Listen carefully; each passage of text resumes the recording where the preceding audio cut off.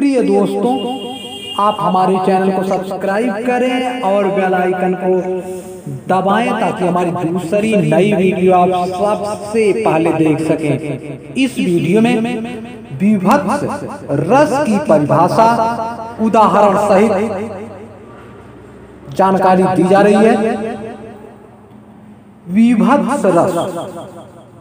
जब घृणित व्यक्ति वस्तु को देखकर उनके संबंध में विचार करके या सुनकर मन में उत्पन्न होने वाली घृणा या ग्लानि को विभत्स रस कहा जाता है। इसकी स्थिति दुखात्मक रसों में मानी जाती है। अन्य शब्दों में विभत्स रस के लिए घृणा और जुगुप्सा का होना आवश्यक है। इसका स्थायी भाव जुगुप्सा होता है। इनके उदाहरण जो इस प्रकार हैं। उदाहरण नंबर एक।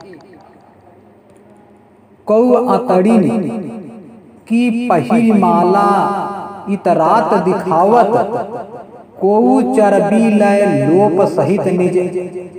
अंगन लावत। को मुंडन लय मान मोद कंदुक लौ डारत। को रुंडन पर बैठ करे जो फार निकारत। को रुंडन पर बैठ करे जो फार निकारत।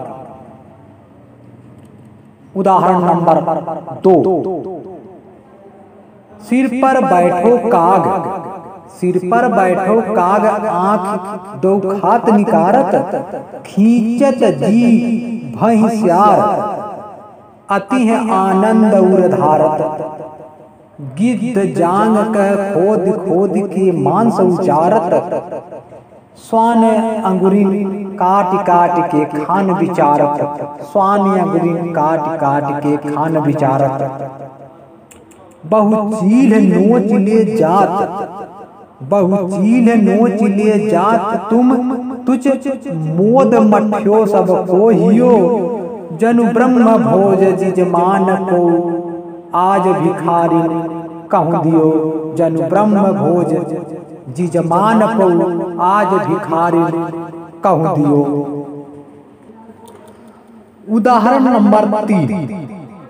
मारही काटही धरही पछारही मारही काटही धरही पछारही शीश तोर सिंहासन मारही शीश तोर सिंहासन मारही उदाहरण नंबर चार। सुभट भारी तहा चारी भारी शरीर नीर, सूरन उछाऊ कूर कादत डरत हैं। अब फेकर फारी पेट खात, फेकर फेर फेकर फारी पेट खात, फेकर फारी काक कंक बालक कोलाहल करत है। उदाहरण नंबर पाँच और अंतिम उदाहरण है। औझरी की झोरी कांधे, औझरी की झोरी कांधे, आतन की सेल्ही बांधे। मूड के कमंडल खपर किए कोरिक जोगिनी झुटुंड, झुंडसी झुंड बनी तापस।